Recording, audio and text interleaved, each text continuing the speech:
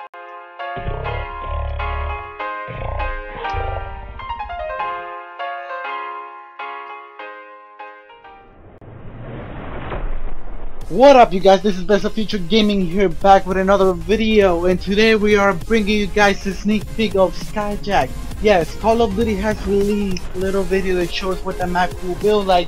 This map will be available on February 2nd for the DLC. I'm looking forward to this map guys, it looks amazing, it's a nice size map and it looks just like the one in um, Black Ops 2, just up in the sky instead of being a boat. But I love it. I love the fact that they're bringing this map back, and I hope that they bring more maps back in the future DLC that will be coming out. Honestly, I'm terrible playing on Combine already. Call of Duty, please catch the fact that you can vote for the same map over and over and over again. Look at this guy. This map looks amazing. I can't wait to play it. I hope you guys feel the same way. If you haven't subscribed, click the subscribe button down below and like our video and share our video. Thank you guys saying I hope you guys enjoyed this short video. And we are out of here. Here we go.